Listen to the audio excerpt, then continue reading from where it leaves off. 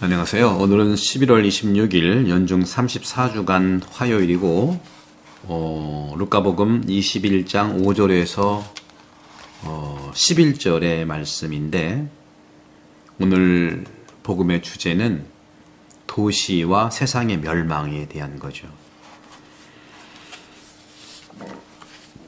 몇 사람이 성년을 두고 아름다운 돌과 자원 예물로 꾸몄다고 얘기하자 예수님이 이렇게 말씀하시죠. 너희가 보고 있는 저것들이 돌 하나도 다른 돌 위에 남아있지 않고 다 허물어질 때가 온다. 그런 일이 어, 언제 일어납니까? 하고 제자들이 묻자. 아, 제자가 아니라 몇몇 사람들이 묻자. 그 일이 벌어지려고 할 때 어떤 표정이 있겠습니까? 하고 말하는 거죠. 징표를 얘기하죠. 주님께서 이렇게 말씀하세요. 너희는 속는 일이 없도록 조심하여라. 많은 사람이 내 이름으로 와서 내가 그리스도다. 또 때가 가까웠다 말할 것이다. 그들 뒤를 따라가지 마라. 하고 말씀하세요. 그리고 전쟁과 반란이 일어났다는 소문을 듣더라도 무서워하지 마라. 일이 반드시 먼저 벌어지겠지만 그것이 바로 끝이 아니다. 저도 요새 전쟁 나고요. 또 한 번 더 위기도 나타나고 하는데 끝이 아니라는 주님 말씀으로 두려워하지 말고 무서워하지 않아야겠어요. 그러면서 이어서 어, 사람들에게 주님이 말씀하세요. 민족과 민족이 맞서 일어나고 나라와 나라가 맞서 일어나며 오늘이 그런 시대거든요. 우크라이나 러시아가 같은 민족이에요. 민족과 민족이 맞서는 거고요. 따라서 우리는 북한하고 남쪽만 서로 안 싸우면 문제가 없는 거예요. 사, 자꾸 예, 주변 강국이 부추기는 것에 대해서 우리가 흔들리면 안 돼요. 주님이 말씀하신 민족과 민족이 맞서 일어나고 나라와 나라가 맞서 일어나며 큰 지진이 발생하고 곳곳에 기근과 전염병이 생길 것이다. 하늘에서는 무서운 일들과 큰 표정이 일어날 것이다. 끝이 아니라는 거죠. 이건 조심하면 돼요. 우리도 그, 그렇고 하마스 이스라엘도 같은 민족이에요. 끝까지 쫓아 올라가면 결국은 예수님 말씀 이웃 사랑은 가족 사랑이라는 말씀을 드리고 싶은 거예요. 오늘 주님께서 그런 말을 하잖아요. 음, 아름답다. 성전이 너무 아름답다. 했더니 돌 하나도 다른 돌 위에 남아있지 않고 다 허물어질 때가 온다 하고 주님은 말씀하세요. 에, 나뭇잎을 빠르게 변형시키는 방법은요, 천천히 그리고 지속적으로, 음, 그 뭐라고 말합니까? 그걸 좀 천천히 지속적으로 특별히 이제 어떤 그 믿음을 가져야 되는데 어떤 희망을 잃어버리지 않도록 하는 거 이런 부분들이 상당히 이제 필요한 것이죠. 세상은 예, 빠르게 그렇게 변화되도록 놓지 않은 것 같아요. 히, 빠르게 이렇게 그 변화가 되는 것에 대해서 희망을 가지라는 거죠. 포기하지 말라는 것이죠. 이 복음의 예언이 어, 어떤 문제를 해결하는 것 같지만 사실 희망은요 돌 하나 하나를 지속적으로 쌓는 걸 얘기해요. 티끌모아 태산이다 하는 말도 있죠. 음 그렇다면 우리의 건물이 정말 그럼 헛된 것이냐? 큰 성전 베드로 성전 크게 졌고 우리 성당도 거의 20년 전에 정말 온 힘을 다해서 우리 본당 교우분들이 또 우리 본당 신부님의 구봉국 신부님이 서로 신자들과 하, 나가 돼서 정말 아름다운 성당 적거든 이거 그 헛된 거냐? 아니에요. 세상의 종말로 이어질 재앙에 대한 예언을 어떻게 이해하느냐 그 얘기죠. 아, 한 가지 주목할 점은 사람이 십자가를 통해서 십자가 영광에 들어가고 죽음을 통해서 영성에 들어가는 것처럼 우리가 건설하는 세상도 십자가의 표징 아래서 완성에 이를 것이라는 사실을 꼭 기억하십시오. 이 성전을 지으면서 태안성당 성전을 지으면서 얼마나 고생들 했습니까? 모든 물건 팔러 다녔죠. 모든 교우들이 십시일반 헌금했죠. 물론 부작용도 없잖아 있었습니다만은 분명한 것은 십자가의 희생처럼 우리 교우들이 희생을 한 거예요.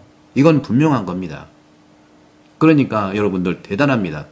주님께서 이것을 분명히 기억해 주실 거예요. 대한본당 교회 여러분 힘내십시오. 물론 힘이 많으시지만 하지만 최종적인 성공은 수천 번의 실패로 그 대가가 완성되는 된다는 거예요. 물론 실패가 없으면 좋겠죠. 그러나 실패는 분명한 성공의 기본이라는 겁니다. 예수님이 허물어진다는 것에 대해서 파괴범이 아니라는 거예요. 분명히 신약 성경은요, 모든 것이, 뭐, 나는 불을 지르러 왔다. 이런 것도 방어범이 아니고, 기본적으로는 영적인 반대의 영적인 가치를 드러내기 위한 반전의 표현이에요. 우리 한국 사람들 그렇잖아요. 국 먹을 때 너무 맛있는데 뜨거운데 시원하다고 그러잖아요. 반대로 표현하는 겁니다. 그러니까 예수님은요, 충청도식의 한국식의 그러한 표현에 에, 가까운 거죠.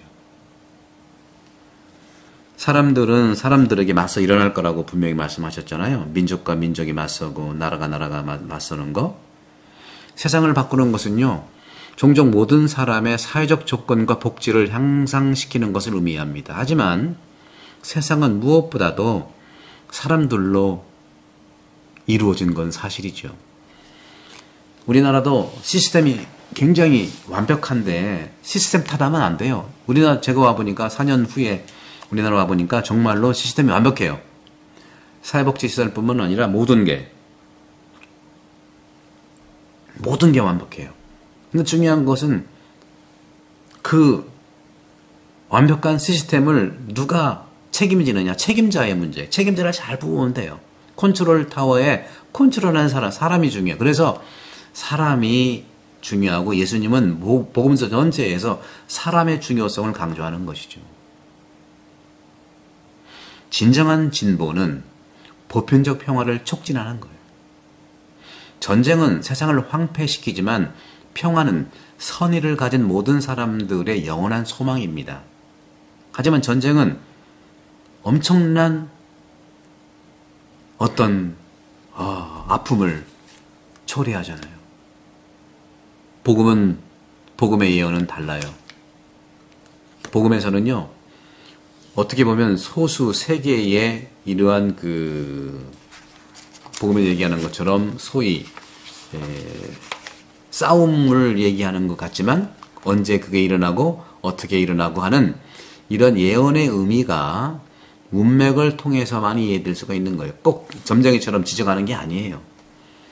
그런 점에서 세상의 끝 이야기, 즉 세상의 끝에서 본 이야기 전체의 맥락을 우리가 읽어내야 되는 것이죠. 그러니까 복음서는요. 주입식의 이지선다형, 삼지선다형이 아니고 그래서 어려운 거죠. 해석을 하고 상상을 하고 합의를 하고 대화해서 우리의 생각을 일깨우는 거예요. 복음의 첫 번째이면서 근본적인 선포는 평화의 나라라는 것이죠. 하느님의 나라의 도래예요. 근데 오늘 전쟁 얘기하는 것은 그 예언의 문맥을 이해하라 하는 것이죠. 예언의 실현은 아직도 민족이 서로 대적하고 사람들이 서로 미워하는 현재의 상황으로 인해 무효될 수 없다는 걸 얘기하는 겁니다. 반대로 얘기하는 거예요. 그리고 주님께서 말씀하세요. 너희는 속는 일이 없도록 조심하여라. 많은 사람이 내 이름으로 와서 내가 그리스도다. 또 때가 가까이 왔다 하고 말할 것이다. 그들 뒤를 따라가지 마라. 얼마나 많은 JMS가 많습니까? 얼마 전에도 또 한 달 전인가요? 예, MBC 그것을 알고 싶단가요? 피디스점인 거기에서 또 수많은 그 종교의 부작용들을 또 얘기했잖아요. 하느님의 나라는 그리스도의 재림과 함께 이 땅에 임할 겁니다. 언젠가요, 그것이? 예수님도 모른다고 그랬어요. 많은 사람들이 참을성이 없어요. 이것은 거짓 예언자, 거짓 예언의 전달자, 천년 왕국의 이러한 이단의 종파의 증가를 설명하는 걸 얘기하는 겁니다. 이것이. 한 무리의 사람들이 자신들이 하느님의 선택을 받았다고 선언하고 다른 사람들을 한꺼번에 정죄합니다. 하지만 이러한 유형의 유토피아는 세속적 기원을 가지고 있어요. 그리스도교가 종말론을 그리뜨기 위한 사이비들이 굉장히 많습니다. 때로는 소위 카리스마 넘치는 이러한 그 교주라고 하나요? 그런 사람들이 일종의 전의를 통해서 많은 호감을 얻는 경우가 있어요. 나라를 구하거나 그런데 사람들은 마치 그 사람이 다른 사람들이 실패한 문제를 해결하고 나라를 구하고 심지어 세계를 구할 수 있다는 그에게 탁월한 능력이 있다고 믿는 거예요. 착각하는 거예요. 누구의 잘못일까요? 당연히 교주의 잘못이죠. 예수님과 같지 않죠. 때때로 그들은 선의의 사람들이기도 하며 속아 넘어가는 사람들 말하는 거예요. 때로는 결국에는 그들보다 더 큰 역할을 우리에게 힘들게 하는 것이 있는 거죠. 그런 점에서 우리가 할 수 있는 것은 기대하는 것이 얼마나 위험한가를 말하고 있는 것이죠. 오직 예수 그리스도를 믿으십시오. 오직 예수 그리스도를 믿음으로 해서 그리스도가 없으면 적 그리스도가 된다는 것이죠. 분명히 말씀드립니다. 바로 어, 우리가 위험하게 생각할 수 있는 것은 사람들은요, 아, 오직 하느님이시고 사람이신 그리스도만이 우리는 그들에게 구세주가 되는 것이지 우리가 되는 것이죠. 음, 그리스, 그리스도가 없으면 그는 안티크리스도, 적그리스도가 되는 것입니다. 사랑하는 자매 여러분, 이제 연중도 막바지에 가고 있기 때문에 종말에 대한 이야기를 많이 하고 있는데 여러분들 우리 모두 어, 복음을 통해서 어, 축복받으시고 구독 선교와 또 영혼 돌봄 또 많이 홍보 부탁드립니다. 성부와 성자와 성령께서는 여러분들을 반복합니다. 감사합니다.